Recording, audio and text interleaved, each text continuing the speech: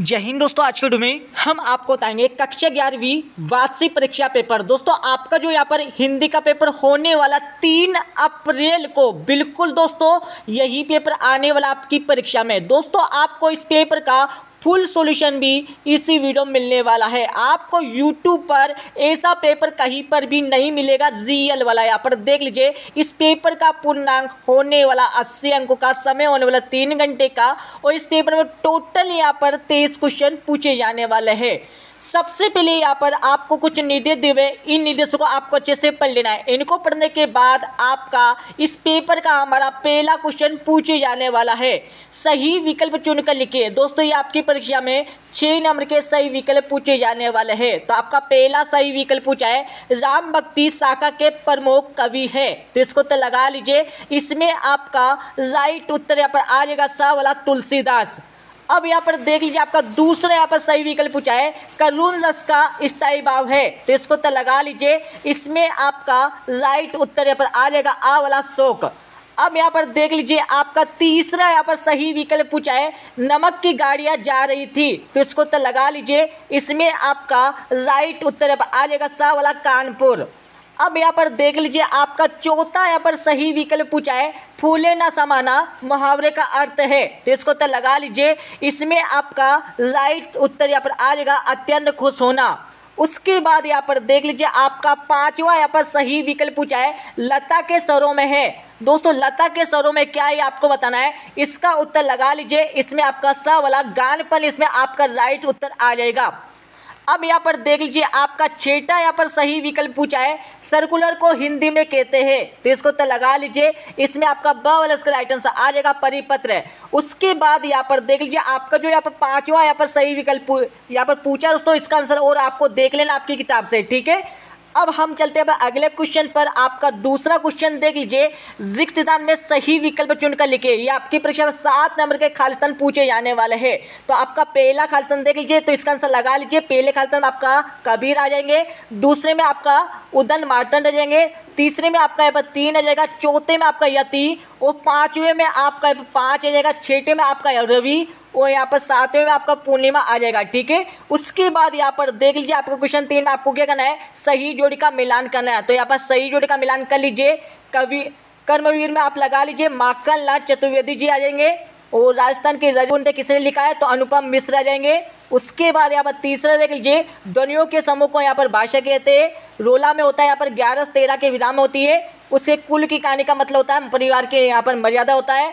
और यहाँ पर छेटा देख लीजिए अनौपचारिक पत्र में आप लगा लीजिए, मैत्री भाव आ जाएगा, ठीक है? जिससे छः नंबर यहाँ पर सही जोड़ी के कंप्लीट हो जाएँगे। आप इस पेपर को पूरा अच्छे से याद कर लीजिएगा। अब आपका क्वेश्चन फोर दिया है, जिसमें आपको क्या करना है? एक वाक्य उत्तर देना है। या आपकी परीक्षा में सात नंबर के क्वेश्चन पूछे जाने वाले हैं। तो आपका पहला क्वेश्चन देख लीजिए, मानव शरीर का निर्माण किन पंच तत्व से हुआ है। तो इसका तो लगा लीजिए, इसमें पहला आपका हो जाएगा हवा हो जाएगा, दूसरा आपका हो जाएगा पानी हो जाएगा, तीसरा आपका हो जाएगा यहाँ पर अग्नि, उसके बाद यहाँ पर देख ले चौथा आपका हो जाएगा आकाश, और पांचवा आपका हो जाएगा, उसके यहाँ पर मिट्टी हो जाएगा, ठीक है? पांचवा आपका हो जाएगा, यहाँ पर मिट्टी हो जाएगा। उसके बाद यहाँ पर देख लीजिए, आपका दूसरा क्वेश्चन पूछा है, छंद की परिभाषा लिखिए। तो इसको उत्तर आपको मिल जाएगा इस वीडियो के लास्ट में। तीसरा क्वेश्चन देख लीजिए, मोहन के गुरु का नाम क्या था? तो मोहन के गुरु का नाम क्या था? तो इसको उत्तर लगा लीजिए, मास्टर तिलोक सिंह। दोस्तों, तीसरे क्वेश्चन का उत्तर लगा लीजिए, तीसरे क्वेश्चन में आपका आ जाएगा, मास्टर मास्टर तिलोक सिंह। दोस्तों, इसको उत्तर लगा लीजिए, मास्टर तिलोक सिंह, इसमें आपका राइट उत्तर आ जाएगा तीसरे क्वेश्चन में। उसके बाद यहाँ पर चौथा क्वेश्चन देख लीजिए। सीधे मुँह बात ना करना, मुहावरे का अर्थ लिखिए। तो इसको उत्तर लगा लीजिए। इसका उत्तर आपका आ जाएगा अकड़ कर बात करना। दोस्तों, इसको उत्तर लगा लीजिए। अकड़ कर अकड़ कर बात करना। ठीक है तो यहाँ पर चौथे क्वेश्चन का उत्तर हो जाएगा। ठीक है, बात करना। उसके बाद यहाँ पर देख लीजिए, आपका यहाँ पर पांचवा क्वेश्चन पूछा है।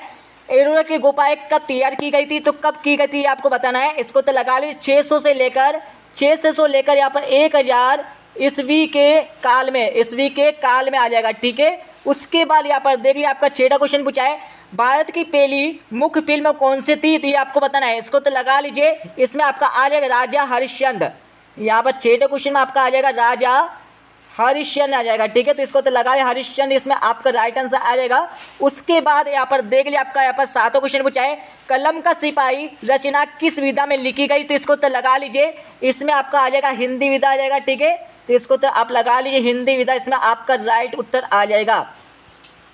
अब यहाँ पर देख लीजिए, आपका यहाँ पर क्वेश्चन पाँच पूछा क्वेश्चन पाँच में आपको क्या करना है? सत्य और असत्य कथन बताना है। ये आपकी परीक्षा में छह नंबर क्वेश्चन पूछे जाने वाले तो यहाँ पर पहला देख लीजिए, छायावती कवियों ने प्रकृति का मानवीकरण किया तो बिल्कुल किया हमारा हो जाएगा, यहाँ पर सत्य हो जाएगा।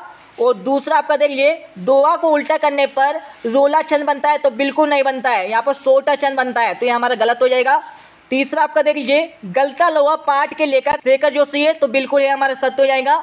उसके बाद आपका चौथा देख लीजिए सपनों का मर जाना मुहावरे का अर्थ नींद नहीं आना तो ये हमारा हो जाएगा गलत हो जाएगा। पांचवा दे, देख लीजिए कुमार गंधर्व ने कबीर के पदों का गायन किया तो बिल्कुल किया हमारा सत्य हो जाएगा। और आपका छेटा भी आपका सत्य हो जाएगा, ठीक है? अब हम चलते हैं दो दो नंबर के क्वेश्चन पर। तो यहाँ पर देख लीजिए, आपका दो दो नंबर क्वेश्चन पूछा छेटा वाला।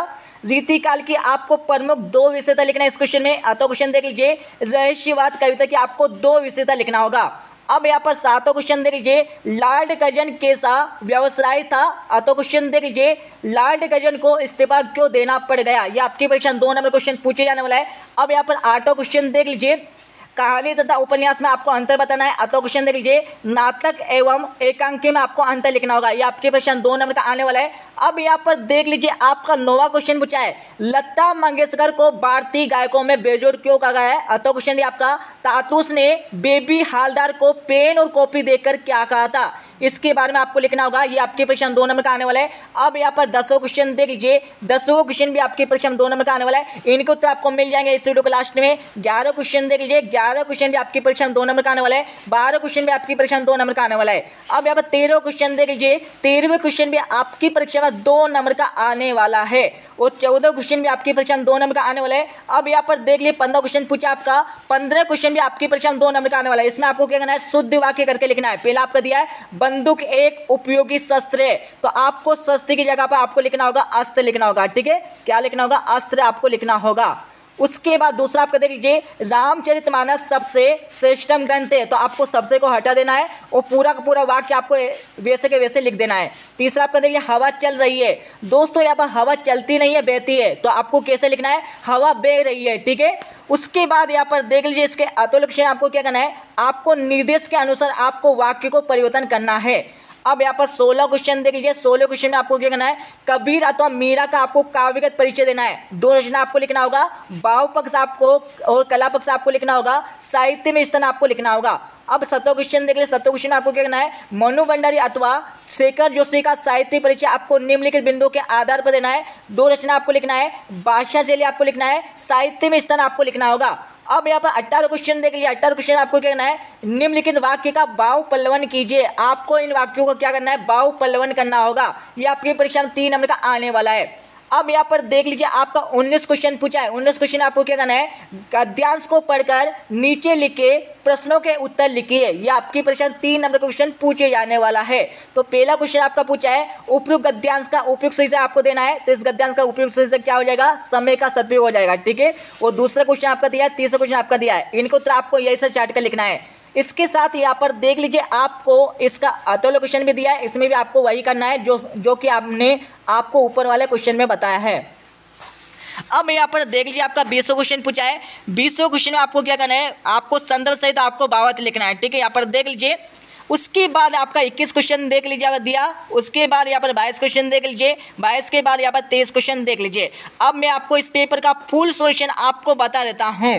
अब दोस्तों अभी इस पेपर का सोल्यूशन देख लीजिए। जैसे कि दोस्तों, हमने आपको इनके आंसर पहले आपको बता दिया था बट आप और देख लीजिए, पहले में आपका, जो आपका दूसरा क्वेश्चन है, उसमें आपको खाली स्थानों की पूर्ति करने के लिए बोला गया था, ठीक है? तो इनके आंसर आप लगा लीजिए, यहाँ पर दिया आपको। उसके बाद यहाँ पर क्वेश्चन तीन का उत्तर लगा लीजिए। क्वेश्चन तीन का यहाँ पर आपको उत्तर मिल जाएगा, ठीक है? याद कर लीजिए। उसके बाद यहाँ पर देख लीजिए क्वेश्चन फोर में आपको एक शब्द अथवा एक वाक्य उत्तर लिखने के लिए बोला गया था। पहले का आंसर आपको मिल जाएगा, दूसरे उत्तर आपको मिल जाएगा। दूसरे के बाद यहाँ पर देखिए तीसरा, चौथा, पांचवा, छठा, सातवा, सभी का आंसर आपको मिल जाएँगे। अब आपका क्वेश्चन पाँच के उत्तर लगा लीजिए, जिसमें आपको सत्य और असत्य लिखना था। तो यहाँ पर सत्य, असत्य देख लीजिए। उसके बाद हम चलते हैं दो दो नंबर के क्वेश्चन के आंसर पर। तो यहाँ पर छठा क्वेश्चन देख लीजिए। ये हमारा छठे क्वेश्चन का उत्तर हो जाएगा, ठीक है? छठे के बाद यहाँ पर देख लीजिए, आपका सातवें क्वेश्चन का उत्तर देख लीजिए। ये हमारा सातवें क्वेश्चन का अतवा वाला का उत्तर हो जाएगा, ठीक है?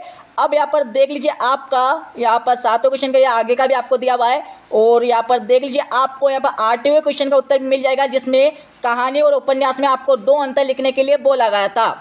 अब यहाँ पर देख लीजिए, आपका यहाँ पर नौवे क्वेश्चन का उत्तर देख लीजिए। ये हमारा नौवे क्वेश्चन का उत्तर हो जाएगा, ठीक है? इसका अच्छे से स्क्रीनशॉट ले लीजिए। उसके बाद यहाँ पर देख लीजिए, आपका दसवें क्वेश्चन का उत्तर देख लीजिए। ये हमारा दसवें क्वेश्चन का उत्तर हो जाएगा। दसवें के बाद यहाँ पर देख लीजिए, आपका ग्यारहवें क्वेश्चन का उत्तर लगा लीजिए। ये हमारा ग्यारहवें क्वेश्चन का उत्तर हो जाएगा। ग्यारहवें के बाद दोस्तों, हम चलते हैं अगले क्वेश्चन के आंसर पर। तो यहाँ हमारा देख लीजिए, यहाँ पर बारहवें क्वेश्चन का यहाँ पर आंसर हो जाएगा। इसमें प्रबंध काव और मुक्तक काव में आपको प्रमुख अंतर लिखने के लिए बोला गया था। उसके साथ ही यहाँ पर देख लीजिए, आपका तेरहवें क्वेश्चन का यहाँ पर अतवे वाला का उत्तर भी मिल जाएगा। अच्छे से याद कर लीजिए। उसके बाद यहाँ पर देख लीजिए आपका यहाँ पर चौदह क्वेश्चन का यहाँ पर अतवे वाला का उत्तर मिल जाएगा। अच्छे से याद कर लीजिए। अब यहाँ पर देख लीजिए, आपका पंद्रह क्वेश्चन का उत्तर देख लीजिए। ये हमारा पंद्रह क्वेश्चन का उत्तर हो जाएगा। पंद्रह के बाद दोस्तों हम चलते हैं अगले क्वेश्चन का आंसर पर। यहाँ पर सोलह क्वेश्चन देख लीजिए, जिसमें आपको कबीर की दो रचनाएँ भाव पक्ष कला पक्ष और यहाँ पर साहित्य स्थान आपको लिखने के लिए बोला गया था। ठीक है तो ये हमारा पंद्रह क्वेश्चन का उत्तर हो जाएगा। ठीक है, अच्छे से देख सॉरी यहाँ पर सोलह क्वेश्चन का उत्तर हो जाएगा। सोलह के बाद दोस्तों यहाँ पर देख लीजिए, हमारा सत्रह क्वेश्चन का आंसर देख लीजिए, जिसमें हम, हमारी मनु भंडारी के बारे में आपको दो रचनाएँ भाषा शैली और साहित्य में स्थान आपको लिखने के लिए बोला गया था। अब यहाँ पर देख लीजिए, आपका यहाँ पर अट्ठारह क्वेश्चन होता है, देख लीजिए, जिसमें आपको भाव पल्लवन करने के लिए बोला गया था ठीक है तो इसका आंसर आपका अच्छे से स्क्रीन ले लीजिए। उसके बाद हम चलते हैं अगले क्वेश्चन के आंसर पर। तो यहाँ पर देख लीजिए, हमारा उन्नीस क्वेश्चन का उत्तर हो जाएगा। उन्नीसवें के बाद दोस्तों, हम चलते हैं अगले क्वेश्चन का आंसर पर। यहाँ पर बीसवें क्वेश्चन का उत्तर हो जाएगा। बीसवें के बाद यहाँ पर देख लीजिए, ये हमारा इक्कीस क्वेश्चन का उत्तर हो जाएगा। इक्कीसवें के बाद यहाँ पर देख लीजिए, ये हमारा बाईस क्वेश्चन का उत्तर हो जाएगा। बाईसवें के बाद दोस्तों, यहाँ पर देख लीजिए, तेईस क्वेश्चन आपको किसी एक विषय पर एक सौ बीस शब्दों में एक निबंध लिखने के लिए बोला गया था। ठीक है तो ये हमारा पेपर कंप्लीट हो गया। तो मिलते हैं अगले वीडियो में। जब जय हिंद, वंदे मातरम।